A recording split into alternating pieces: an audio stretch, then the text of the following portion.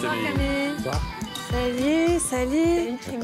Salut à tous, c'est Gaïa, professeur des écoles en matière d'art plastique et responsable d'activités extrascolaires. Actuellement surexcité par cette rencontre avec Monsieur Star, Joey de son prénom. C'est vous qui m'avez inspiré l'idée de ma dernière activité avec mes petits loups de CE2.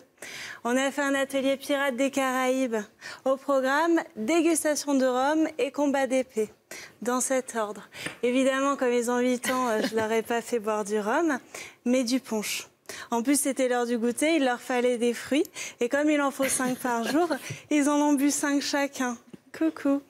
Ensuite, on est passé à l'activité physique, essentielle au bon développement de l'enfant. Donc je leur ai dit, allez-y, tout le monde prend son cache-œil, son perroquet et son épée. Bon, je vous rassure, c'était pas des vrais, hein, c'était des perroquets en peluche.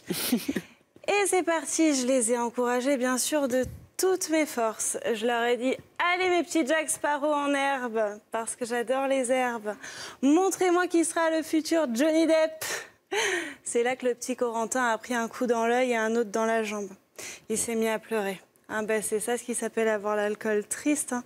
C'est ce que j'ai essayé d'expliquer aux ambulanciers. hein. En attendant, c'est lui qui avait gagné. hein. C'est lui qui ressemblait le plus à un vrai pirate. Encore bravo mon champion. Bon après ça, j'ai reçu deux trois coups de fil de parents d'élèves, bien sûr. Bah, ils n'étaient pas contents. Ah bah tu m'étonnes, ils ont dû regretter de pas être là. C'était quand même du 15 ans d'âge. Les petits loups, ils peuvent se vanter d'avoir bu un rhum deux fois plus vieux qu'eux. Et quand je dis plus vieux, euh, c'est l'âge, hein. je parle pas du temps de demain. Ouais, parce que demain matin, en France, il va pleuvoir partout, partout. Moi, ça me déprime. Alors, je vais plutôt vous donner les températures d'ailleurs, parce qu'il paraît que l'herbe est plus verte ailleurs.